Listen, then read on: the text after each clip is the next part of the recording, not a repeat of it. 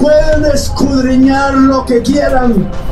Pueden llevar a seres humanos al borde del como está aconteciendo. O sea que ya lo sabía el gobierno del cambio. Comencemos con la noticia.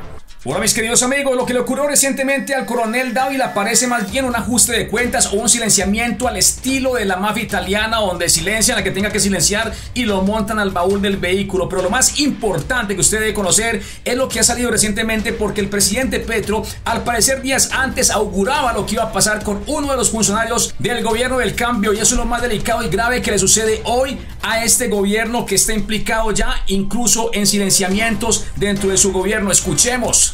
Pueden escudriñar lo que quieran. Pueden, Pueden escudriñar lo que quieran, dice el señor Petro. Pueden llevar a seres humanos al borde del... ¿Ah? Como está aconteciendo. Como está aconteciendo. Esto lo dijo antes, el 7 de junio. Pueden llevar a seres humanos al borde del... Como está aconteciendo ¿Cómo tenía el señor Gustavo Petro la bola mágica para saber que tal vez iba a ocurrir algo así dentro del gobierno, ¿no? Y o con alguna seccional diferente a la del gobierno, como en este caso acusan a la Fiscalía General de la Nación, por lo cual entendemos que hay acusaciones muy graves, pero esto ya rebosa la tapa de la corrupción histórica que actualmente se está viviendo en el territorio colombiano. Decía por acá una tuitera lo siguiente y para que lo tengan en cuenta que esto es lo que dicen por acá porque Miguel Ángel del Río anteriormente ya al parecer tenía también información de lo que le iba a suceder a Miguel Ángel, al señor coronel, discúlpeme, el coronel Dávila, y eso también llama mucho la atención y es esto. El día de ayer me reuní con el coronel Dávila, quien me buscó para manifestarme de que la fiscalía lo estaba amena. Le advirtieron que no se detenían hasta que corriera, ustedes están leyendo, hasta que corriera San. Hoy se quitó la con su votación, lo de la fiscalía es una persecución infame. Ante esto dice por acá una tuitera, suena más bien a que el coronel le contó al tinterillo, o sea, este abogado Miguel Ángel de Río, lo que pasaba de lo que pensaba decirle a la fiscalía. El tinterillo pasó la información, eso lo hace cómplice. El que no hubiera hecho nada desde ayer con la información que dice haber recibido de unas posibles confirma su culpabilidad. Señores, esto está muy grave y sigue sucediendo dentro del gobierno del cambio y finalmente lo que nos llama mucho más la atención es que Petro había anticipado de que podía pasar algo grave con algún funcionario del gobierno. Lo importante que deja claro de que el señor coronel Dávila no habría atentado contra su propia integridad es que él ya había manifestado de que iba a colaborar con la fiscalía en una carta que había anunciado con una información el pasado 2 de junio. Y aquí vamos a darle claridad a esto. Mírenlo acá, mis queridos amigos, donde tenemos la fecha del día 2 de junio. ¿Se, se observa bien? Y aquí dice lo siguiente, Francisco Barbosa, doctor, fiscal general de la Nación, referencia, disponibilidad para la presentación a entrevista o interrogatorio a consideración de la Fiscalía.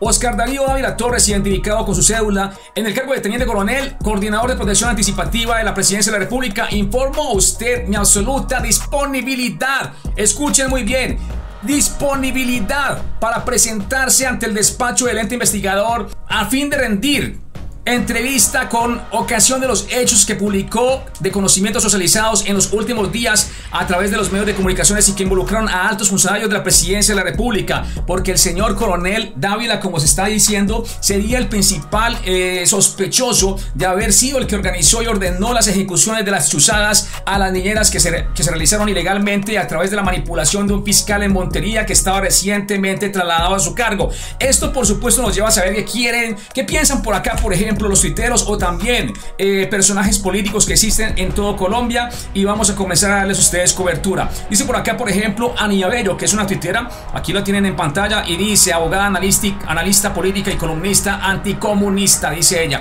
El coronel Ávila no tenía su propia arma. ¿Para qué usar la dotación de su escolta? Esto lo está diciendo una abogada. ¿Por qué la escolta dejó su arma en el carro para ir a, una a comprar agua? ¿Por qué Suici en el carro y no en su casa u oficina? ¿Por qué el reportero que hace presencia en el lugar de los hechos habla de dos boom boom? Al fin que el escolta lo encontró muerto o lo hizo al frente de él o lo hizo al frente de él delante del escolta. ¿Cómo fue la cosa?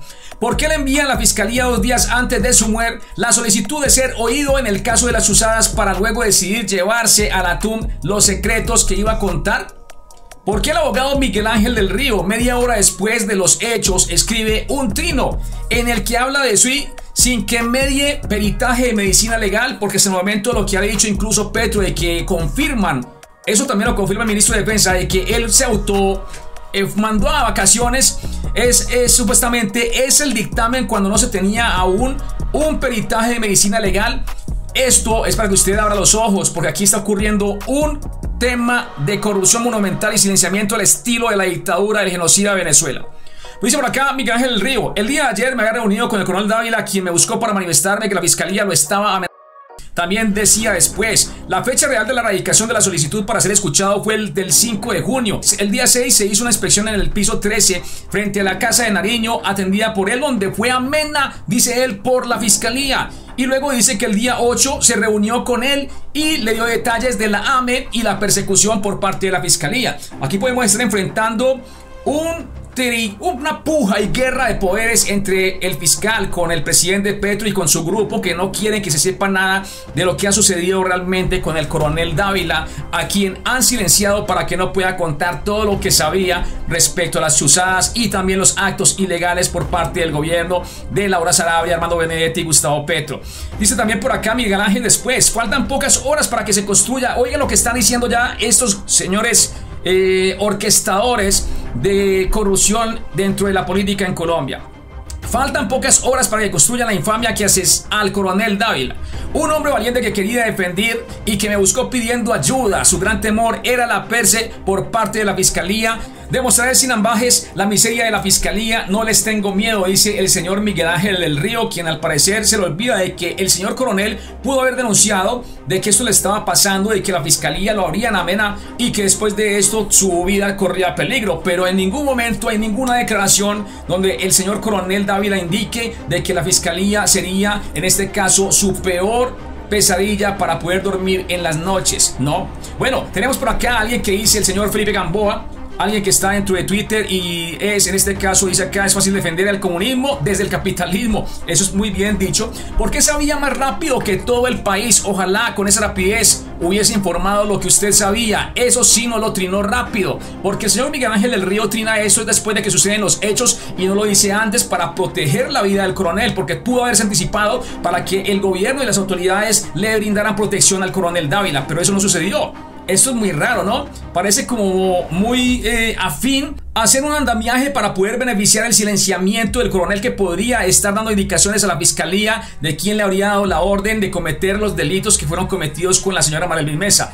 El señor Petro, luego dice el teniente coronel de la policía Oscar Dávila, adscrito a la seguridad de la presidencia de la República, a muer por suicidio. Eso lo dice claramente el señor Petro, quien anteriormente ya sabía lo que iba a suceder con el coronel Dávila. Y por acá dice finalmente la señora periodista Vicky Dávila, para que lo tengan en cuenta, el proceso 15.000 ya empezó. El proceso 15.000 ya empezó en Colombia. Un coronel, ¿ya? Un polígrafo, chuzadas y la posible entrada de dinero sucios a la campaña de Gustavo Petro enredan al gobierno. Bueno, señores, ¿quién es el más beneficiado con el silenciamiento del señor coronel Dávila? ¿Quién creen ustedes que es el más beneficiado? ¿La fiscalía que quiere que no se sepa ¿Qué, no se quiere que se sepa? Si los que cometieron el delito fueron los de la Casa de Nariño o la fiscalía que está tratando de enredarle supuestamente la vida y jodérsela a Gustavo Petro. Por acá también tenemos entonces a Gloria que dice esto. Pregúntele a Miguel del Río que sin haber hecho el leván del, del coronel ya tenía la forma de cómo falle. Dudas todas. Es decir, ella sabía cómo y en qué manera, cómo entró, cómo salió. Todo lo sabía ya Miguel Ángel del Río, este abogado. No, interesante. Wilson Arias, el que fue también ya señalado por la Procuraduría de ser un maltratador de la fuerza pública. Dice él, miserable derecha, solo en Colombia se anuncia un cese el fuego bilateral por seis meses y ellos salen a ver cómo torpedearlo y oponerse. Dejen salvar vidas, dice él. Bueno, ustedes saquen conclusiones y me refiero a Cabal, senadora por el Centro Democrático. Petro nada tiene que hacer dictamen las causas de este lamentable hecho. Es la autoridad judicial y por la que debe determinar cómo fue la mandada vacaciones del coronel Dávila en Colombia. Ustedes, por supuesto, tendrán mucho que decir al respecto, pero sabemos de que tienen muchísimos comentarios al respecto y que ustedes también tienen claro qué es lo que sucedió ante el silenciamiento del coronel, que hoy es parte de la destrucción total y el caos de la implosión que tiene el gobierno de Petro en el territorio colombiano. Como dice Paloma Valencia, Qué oscuridad tan grande, amigos. Qué oscuridad tan grande y qué caos ha generado la izquierda con el socialismo del siglo XXI, con el PANA y socio de Nicolás Maduro en el territorio de Colombia. Nos vemos en el siguiente segmento de noticias. Hasta pronto.